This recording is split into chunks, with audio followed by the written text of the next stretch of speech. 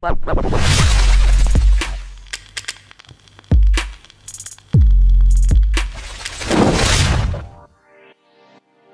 guys, it's me again. This time we're going to have another tutorial about MS SQL or Microsoft SQL.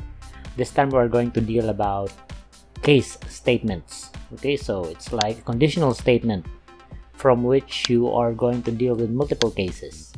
So we're just going to start the new query in here. So if this is the first time that you have watched this video, kind of check on our previous videos for this one. So we are going to create a case statement regarding the genre of the music DB or database. However, we are going to focus on the genres table.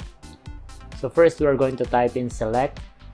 Then next is we are going to type uh, genre ID, okay, which is under the genre table. Be sure that you are on the right database before you're going to start this one. Then type in case. Afterwards you're going to type when then type again uh, genre id so first is we are going to type in the first one. First case is genre id is equal to 1 then let's just provide a statement in here. You are a rocker. So if you have chosen the first genre then definitely you're a rocker then we're just going to continue with the next one so when genre ID is equal to, let's say, number 2,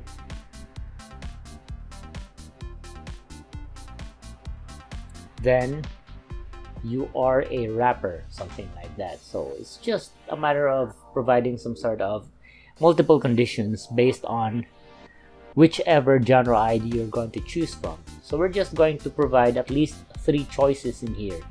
So third one is you're a pop star, then for the fourth one let's say for example if um, you are dealing with choices which is not on any of these three so we're just going to change this one to something like else.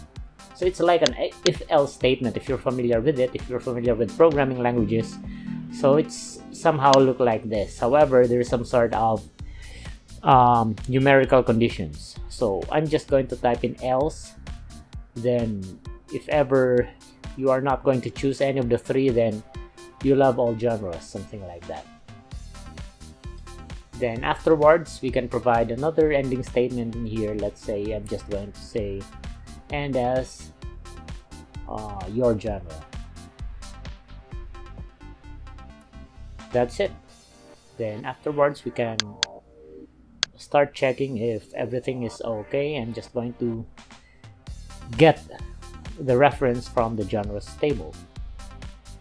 And I think everything is okay now. So what we're going to do next is just to execute this statement. There you go. So as you can see, so whichever number you're going to choose, there's a corresponding statement. So the last one or some sort of a default statement. Okay, so that is how you're going to deal with case statement using Microsoft SQL. Okay, so bye for now.